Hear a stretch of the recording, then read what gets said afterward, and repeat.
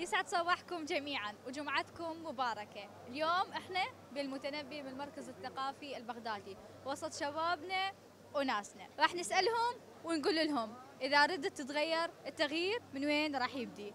راح نسأل شبابنا ونشوف شنو راح يردون علينا على سؤالنا لفقرة إحنا والناس لهذا الأسبوع. ابقوا ويانا بداية التغيير يبدي من من الإنسان نفسه يعني. يبدي من ذات الإنسان نفسه من يبدي من داخله. تغيير من الذات يجي؟ يعني من أريد أغير شيء لازم داخلي اني مقتنعه إنه أريد أغيره هيك. هاي الشاب يقدر يغير من نفسه لكن آه، أكو ظروف آه، ما تسمح له يغير. أنت تغييرك أنت منين يبدي؟ يعني هي باعي. البيئة عامل كلش يعني مؤثر على الإنسان.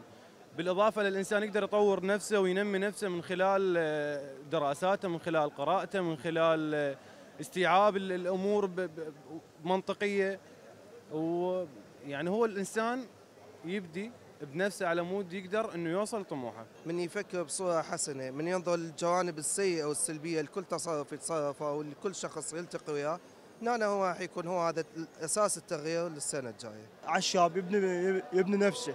اخلاقيا من خلال متابعة نفسه بالدراسة بناء طاقات شابة مثل بناء العمل التطوعي لتنظيف الشوارع.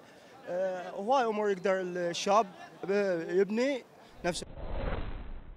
إلى هنا أنا شفنا آراء شبابنا وشنو قالوا على التغيير. من وجهة نظري التغيير يبدأ من القرار بالتغيير. لهنا تكون انتهت فقرة إحنا والناس من برنامج خوش حكي. انتظروني الأسبوع الجاي بحلقة جديدة. لا تنسون تتابعون برنامج خوش حكي على المواقع الخاصة ب www.صوت